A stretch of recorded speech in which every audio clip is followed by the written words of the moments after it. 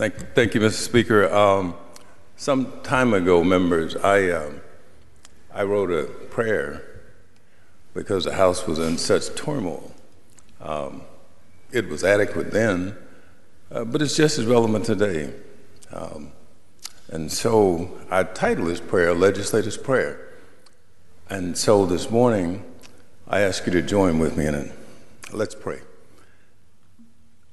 To the God of the Panhandle, to the God of the Rio Grande Valley, to the God of the High Plains, to the God of the Gulf Coast, to the God of the Piney Woods, to the God of the Central Texas, to the God of West Texas, to the God of rural Texas, to the God of urban Texas, to the God of the poor, to the God of the powerful.